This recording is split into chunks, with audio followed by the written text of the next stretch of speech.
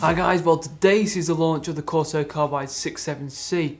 The Carbide series is loaded with different cases, it's the most active really inside Corsair's portfolio and with the 678C today we're going to be stepping away from the aggressive styling that you might find on a gamer case with those sharp cutouts and the RGB and instead we have something which is definitely going to bring some style and finesse. Along with the elegant external design, 678C features extensive noise damping to reduce the overall system noise. Inside we have an interesting array of features, massive cooling potential, and with the surprise return of the 5 and a quarter bay. 678C is available in black or white. We're obviously looking at the black version today. And in terms of the pricing for this particular case here, you're looking at around about 179 in the UK, uh, 200 in the US, and then 279 in Australia. So it isn't cheap, but hopefully for that price, you know, we're getting a good assortment of uh, various features inside. And coming from Corsair, we expect the high standard that we see in other cases. In our video today, we're going to be exploring plenty of uh, other features, obviously, looking at the clearance options, loads of detail, and hopefully by the end, you'll be able to establish if it is worth a buy. Right guys, well we're going to start with the front of 678C. So here we have a plastic fascia, which as you can see is completely flat. Apart from the Corsair logo at the bottom, there isn't a lot else to say. Now this panel is hinged from the right side, and it opens out just like this. Those hinges are robust, and movement appears to be nice and smooth. On the inside of this panel we have noise damping material. As you can see it hasn't just been quickly cut out, glued and slapped onto that fascia. It neatly sits into the panel, embedded and it fits around the magnets. At the top of the chassis we have a 5 and a quarter bay cover which pops out. This type of storage is pretty much being phased out in modern case design but for those wanting it, it is there as an option. In the lower region we have a detachable dust filter which has the magnets and on the inside of there there is allocation for three 120mm fans or two 140mm. Corsair uh, has included a 140mm as an intake that is an SP140 PWM. Now the front panel connectivity sits on the edge of the upper section and is arranged in a vertical manner and what we get here is a power button, a reset button, activity LED, two USB 3 ports, a single USB 3.1 Gen 2 Type C, and a headphone and microphone jack. And so it's great to see that Corsair are getting on board there with the USB 3.1 on the front panel. Most motherboards from this and last year have the headers there to work in correspondence with this. Up at the top of 678C we have a steel outer and there are two panels which can be fitted into the centre piece. We have a perforated mesh filter there which will provide better airflow or there is a closed off panel with the noise damping material on the inside which will obviously help to kill off as much noise as possible. And so the choice is yours which one you go with, and it's great to see that there is flexibility here rather than just one option. Now underneath this we have a huge area marked out for triple 120 or 140mm fans, which will give plenty of cooling potential. And again Corsair has provided a 140mm SP140 PWM.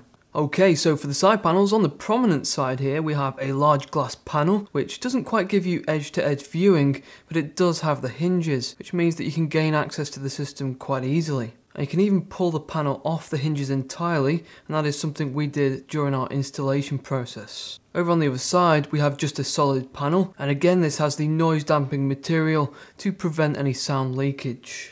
With those panels removed, we now have a view inside 678C, and this case here follows a conventional layout for a computer case. It accommodates up to eATX form factor, and around the case we have lots of storage options and cutouts for cable management. We're going to explore this now in more detail. Now the power supply sits at the bottom of the chassis and it is concealed behind the shroud on the prominent side and there are rubber mounts underneath to cushion it.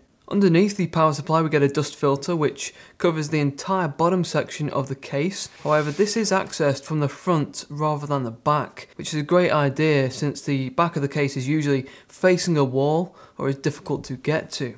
Above the power supply we have a series of 7 horizontal PCI covers and 2 vertical. Each of those have the ventilation cutouts and thumb screws. We've used the verticals in our build to showcase the graphics card and we did this by using Corsair's PCI Express extension cable. The only problem in our situation is the card comes extremely close to that CPU heatsink since the width of the card is 120mm. So a word of warning, if you do have a card over 120 and you have a heatsink, it might not fit.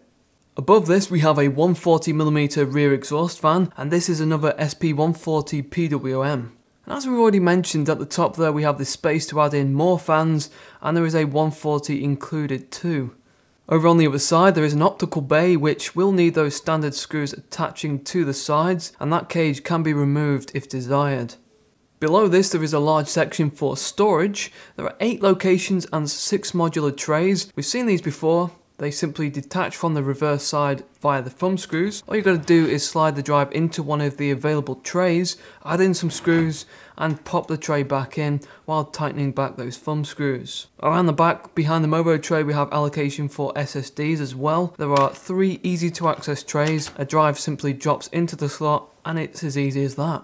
As we're on the reverse side, now would be a good time to mention the PWM hub. Corsair uh, has included a PWM fan controller inside 678C and all three of the fans are already connected. There are another three available. All you have to do with this is to make sure to connect the SATA power to the power supply and the PWM cable to the PWM header on the Mobo. This allows you to effectively control the speed of the fans from one header. Okay, so next we're going to take a closer look at the clearance options within 678C, as this is quite an important area for you system builders who need to know whether something will fit or not. So for the CPU cooler, Corsair uh, specify 170mm. This is going to cater for anything currently on the market. We're using the Hyper 212 Evo here in this build, which is under 160. In the graphics card department, if you choose to keep some of those storage trays in, you have space for up to 330mm, but if you remove them, you have around 370mm. And we should also note that if you do use the vertical mount and a heatsink just like us, if your card is over 120mm, it could struggle to fit. Now the location behind the Mobo tray is important for storing cables, but there isn't a lot of space to play with here, around 1 centimeter. However, there are some indentations towards the front which should help, and there are of course those gaps there to tuck away any redundant cables. For the CPU power, we are able to remove the SSD bracket to feed that cable in and then reattach the bracket afterwards. For water cooling, there is quite a bit of flexibility for different size radiators. At the front there, you can install up to 360mm. We've got here a 280mm for the demonstration. And at the top, there is the option there to go up to 420 with the removal of that optical cage. And again, we've installed a 280mm just to show the clearance. And with the fan and radiator together, there is a bit of space there left over at the top of the Mobo.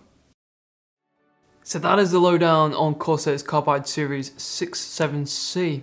A stylish, elegant case which really doubles down on noise reduction. And with those thick panels, the material on the inside, and then the PWM fan controller, it really does manage to achieve that.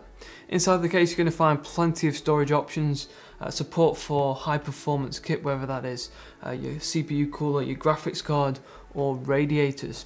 Corsair has included the three fans uh, with this case and the option to maximize adding up to 9 120s or 7 140s. Now two things which I really like about this case are the 3.1 Gen 2 up at the front panel. Mobos today support it, saves you having to scratch around at the back looking for it. And the other thing is the interchangeable covers, uh, which is a really lovely touch. You can either go for better airflow or low noise. You aren't fixed to just one option. If you guys like this case, let me know in the comments box below. We're going to be sticking a poll on this video asking you the question, do you prefer low noise or better airflow? Just click on the uh, link in the corner and cast your vote. For the cooling performance on this case today and the full review, please check out the link in the description. Thanks very much for watching today guys. Please support the channel if you enjoyed this content. Take care and I'll see you guys next time.